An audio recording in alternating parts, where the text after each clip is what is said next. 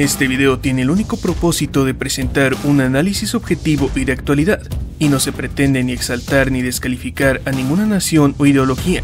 Simplemente se contrastarán los datos e informes conocidos para obtener un diagnóstico de la efectividad de este sistema de armas,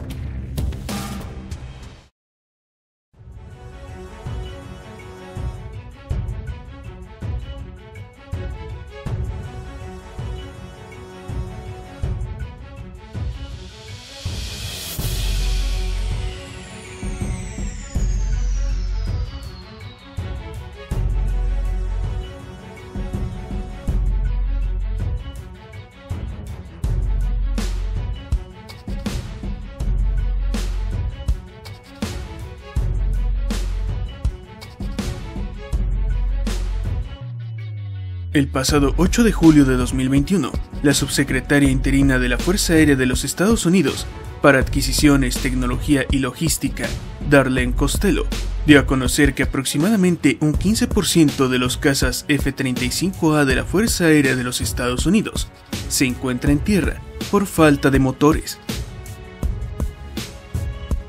Esto significa que de los 272 cazas F-35A que la Fuerza Aérea de los Estados Unidos tiene en servicio, un total de 41 unidades se encuentran en tierra debido a los retrasos en la entrega de los motores F-135 de recambio. Siendo que la funcionaria estadounidense también destacó que en estos momentos ya se están reparando 56 motores F-135 en la base de la Fuerza Aérea de Tinker en Oklahoma. Sin embargo, esta no es una problemática nueva, ya que como muchos recordarán, ya en febrero de 2021, en este canal les comentábamos acerca de los constantes problemas del recalentamiento y desgaste prematuro en los motores F-135 montados en el caza F-35 y que ya estaban comenzando a mermar su disponibilidad para el combate.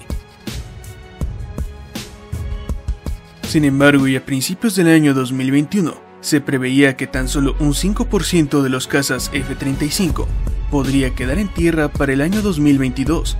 aunque evidentemente esa cifra se ha triplicado y fue alcanzada a mediados de 2021.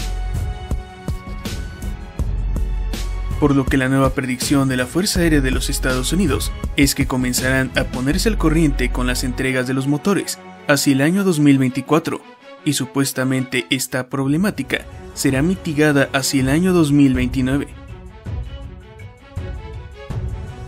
Por su parte, el teniente Eric T. Flick, oficial ejecutivo del programa F-35, reconoció ante la prensa que los costos de mantenimiento del F-135 son realmente desafiantes y que el desgaste prematuro de estos motores ha obligado a adelantar la remoción del motor a las 2.000 horas de vuelo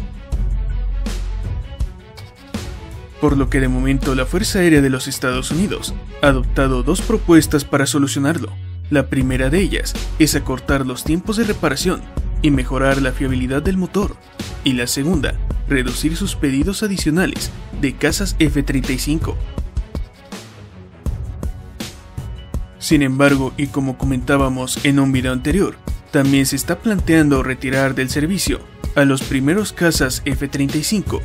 que ahora resultarían muy costosos de actualizar, y muchos de ellos carecen de capacidad de combate o capacidad de combate completa.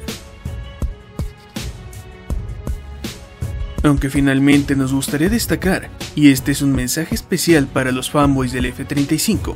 y es que si no les gustan las malas noticias sobre su casa favorito, pueden enviar sus reclamaciones directamente a la Fuerza Aérea de los Estados Unidos o al Pentágono, ya que este es el mayor informante de los fallos de este caza. Pero ahora ha llegado el momento de que tú opines y de que compartas algo positivo en la sección de comentarios. Y si te gustó este video o te pareció interesante, te invitamos a suscribirte a Canal Conocimiento Militar, o si ya lo estás, a dar like y compartir el video. Pero no olvides seguirnos en nuestras redes sociales.